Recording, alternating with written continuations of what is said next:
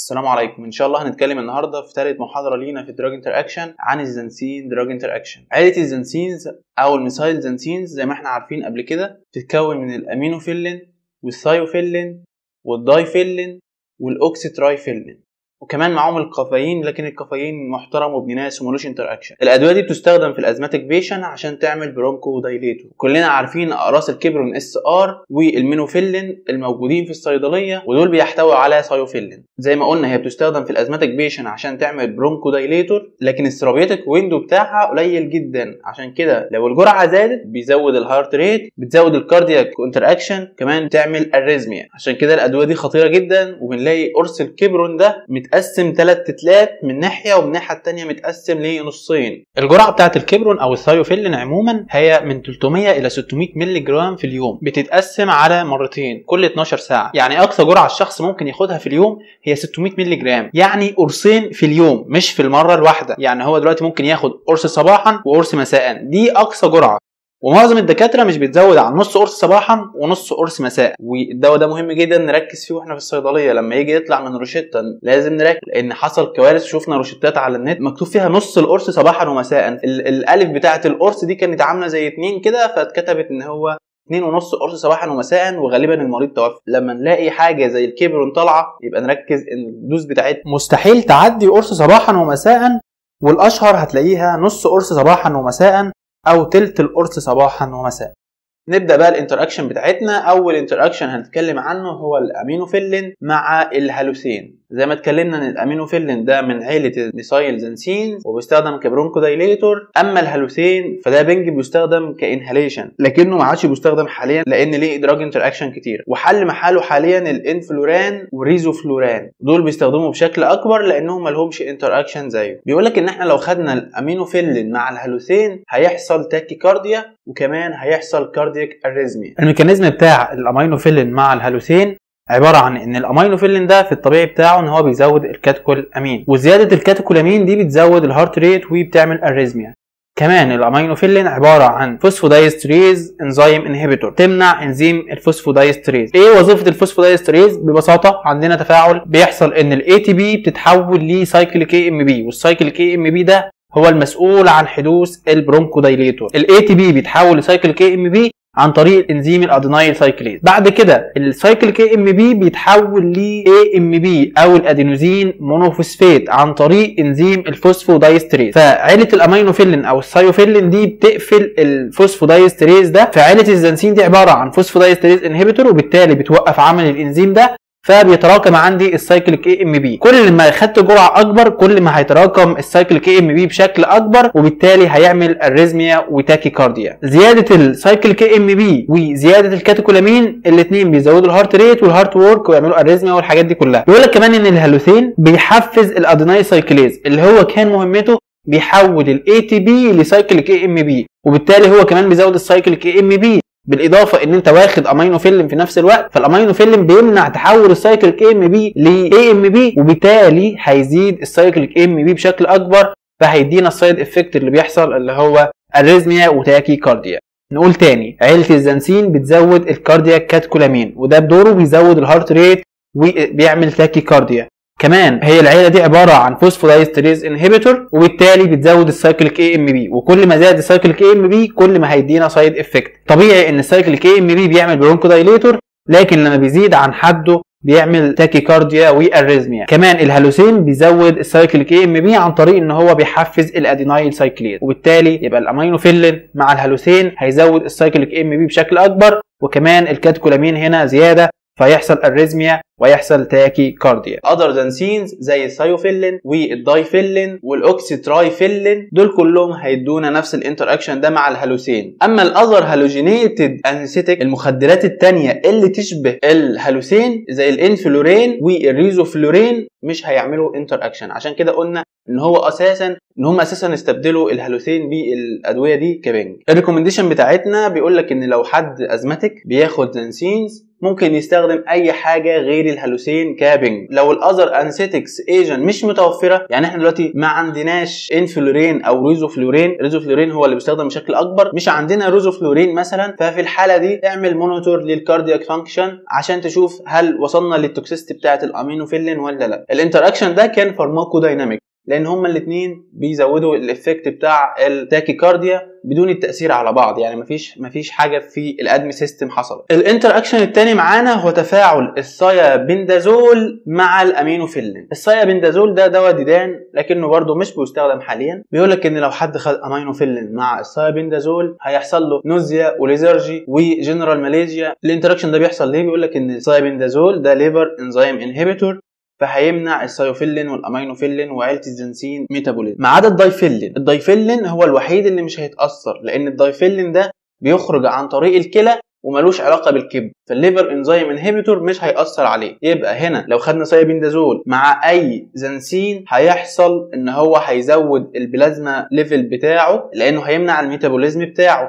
هيزود تركيزه فبالتالي هيزود ال side effect بتاعته. nausea وال lethargy و general malaise وهنا أصلا هو ممكن يعمل tachycardia كمان لأن tachycardia هي الأساسية هي وال arrhythmia يعني ال arrhythmia هي الأساسي. لكن هنا المحاضرة مركزة على النقطتين دول. التفاعل ده pharmacokinetic drug interaction عشان هنا أثر على ال metabolism بتاع ال xanthines. ال other xanthine اللي بتتحول ل theophylline في الجسم زي ال theophylline طبعا هو كده كده هو ده ال theophylline الأساسي. ال oxtriphylline ده بيتحول ل theophylline في الجسم. الأمينوفيلين برضو بيتحول ل theophylline في الجسم. فبالتالي دول كلهم بيتأثروا بال thiabendazole أو أي liver enzyme inhibitor لكن هنا إحنا مركزين على ال thiabendazole عشان كده في الواقع بلاش ندي مثلا حاجات زي السيبروفلوكساسين زي ال clarithromycin الحاجات اللي هي liver enzyme inhibitor بلاش نديها مع ال theophylline أو مع اقراص ال Quibron.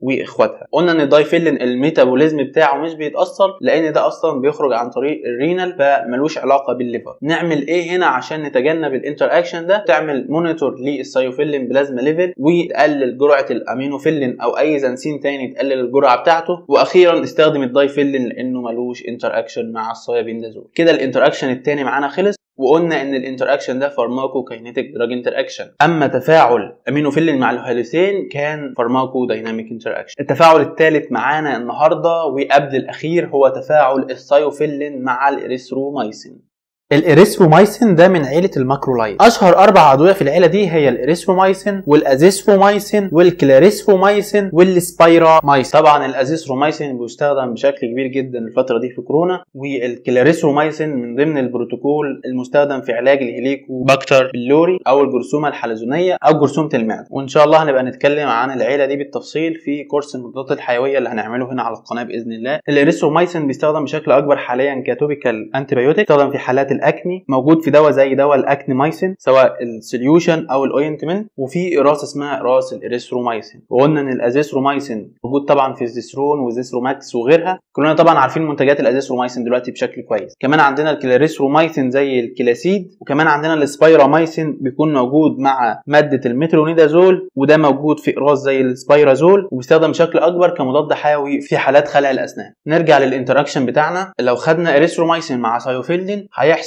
حاجتين. الحاجة الأولانية إن الاريثرومايسين ده liver enzyme inhibitor فهيزود تركيز ال theophylline حوالي 2 folds أو الضعف. كمان الاريثرومايسين نفسه ال plasma level بتاعته هتقل لحوالي 63% هي قلت ل 63 المفروض تكون 100% فقلت ل 63 معنى كده إن هي قلت للتلتين. يبقى هي قلت بمقدار تلت واحد. يبقى هنا النسبة اللي قلت بيها حوالي 37% أو نقدر نقول تلت. وده عبارة عن drug interaction يعني في هنا تفاعلين حصلوا. ال plasma level بتاع ال theophylline هتزيد وكمان ال plasma level بتاع الاريثرومايسين هتقل. ال mechanism مش معروف لكن ال interaction بيحصل. في شوية اقتراحات كده بتقول إن غالبا الاريثرومايسين ده انهبت الهيباتيك ميتابوليزم أو الليفر ميتابوليزم بتاع السيوفيلين فهيزود تركيز ال theophylline وبيقول لك اللي أكد الموضوع ده إن إحنا لما استخدمنا ال dyphylline لقينا ما حصلش معاها interaction وده طبعا لأن مش بيحصل لها metabolism في ال liver. فده اللي أكد إن ده بيحصل عن طريق إن هو الاريثرومايسين liver enzyme inhibitor